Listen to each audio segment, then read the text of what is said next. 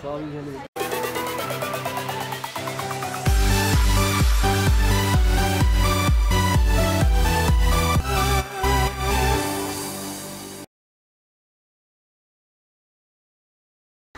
আলাইকুম, আপনাদেরকে আবারও স্বাগতম জানাচ্ছি আমাদের আজকের এই পর্বে। আশা করি আপনারা ভালো আছেন।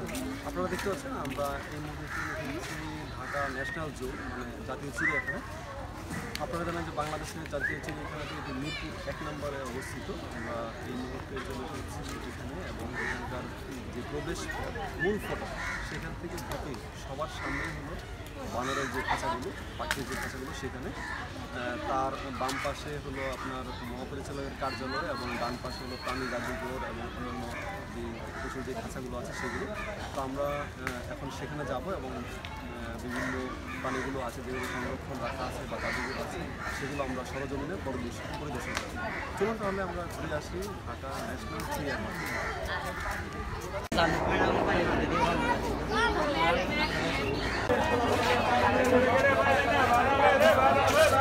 বাদাম বটলো এদিকে, বাদাম বটলো এদিকে, বাদাম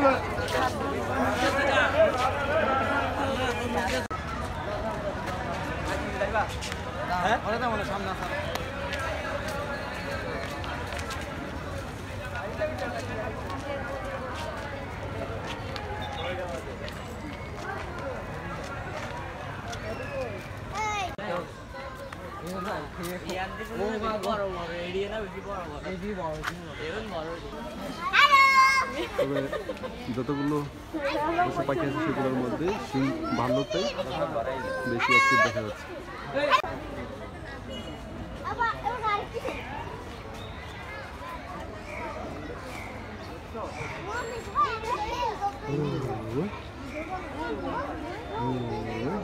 오른 거 오른 오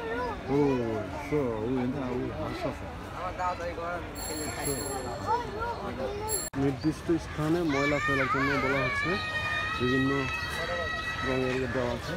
পরিচালকের কার্যালয় ক্যাম্পাসে মসজিদ এবং প্রাণী জাদুঘর এই পাশে। যখন মূল গেট থেকে ঢুকবেন, ঢুকার পরে প্রথমে এরকম ডিরেকশন ম্যাপ পাবেন।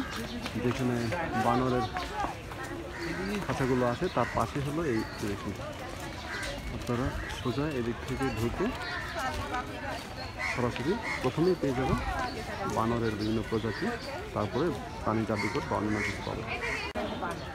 রেসাস বানর।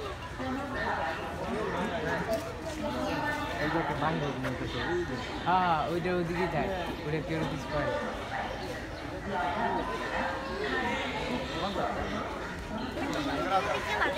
ভালো হয়েছে না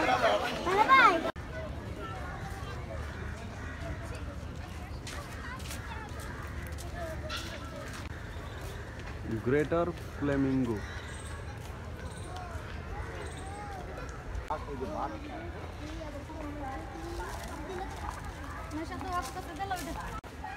এটা হলো বাঘের খাঁচা রয়্যাল বেঙ্গল টাইগার ছায়া আর এটা রয়্যাল বেঙ্গল টাইগার বর্ষা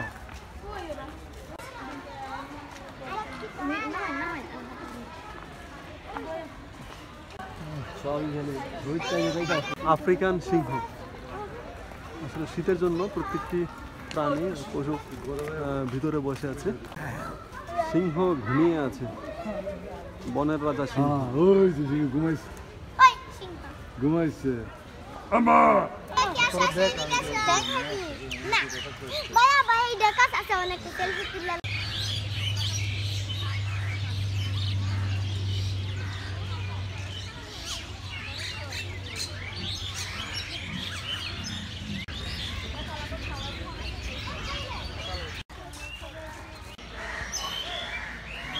উট পাখি। বাংলাদেশ জাতীয় চিড়িয়াখানা গানের মধ্যে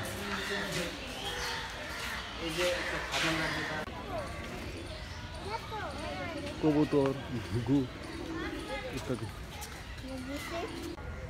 একটা বাসটাতে উই উই কত বড়। দেখছ? অনেক বড় কুমির কই কুমির?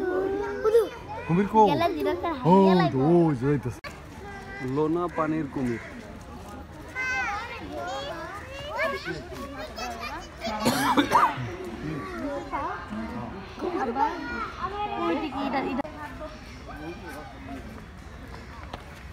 দেখলে তো সমস্যা নাই।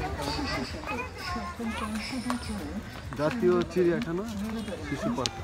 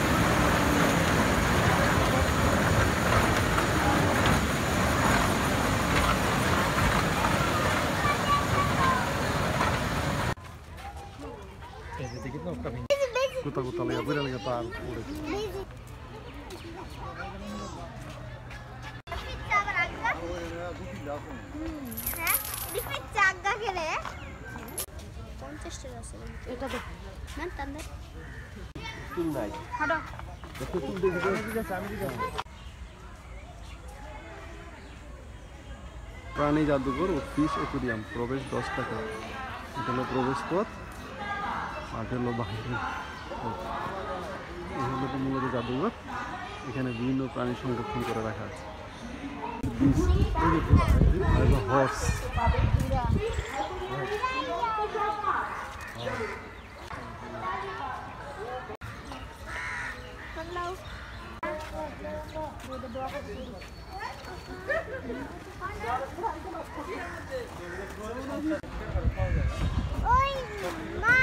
ওই মা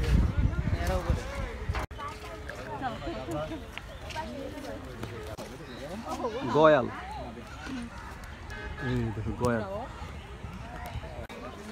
নীল ময়ূর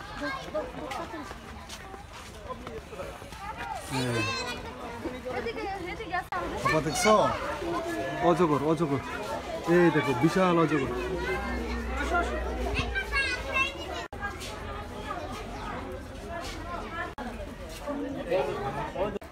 কিং কোবরা স্ন্যাক